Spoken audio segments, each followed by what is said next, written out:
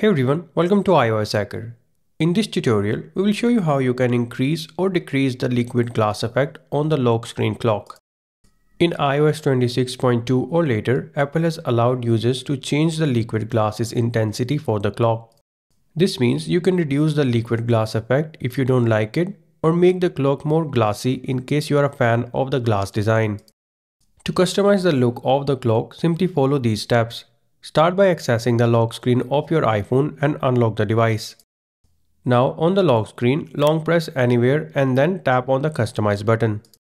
Here you have to tap on the clock to access clock's customization features. After making sure the glass option is selected, move the slider towards the right side to reduce the liquid glass effect. You should see the change taking place as you move the slider. To make the clock look more glassy, move the slider towards the left side. Again, the clock should update in real time as you move the slider. Play around with the slider to get your desired results. Once you are done, tap anywhere on the wallpaper and then hit the done button from the top. This should save the changes to the clock. That's it. This is how you can increase or decrease the glass effect on the lock screen clock on iPhone running iOS 26.2 or later.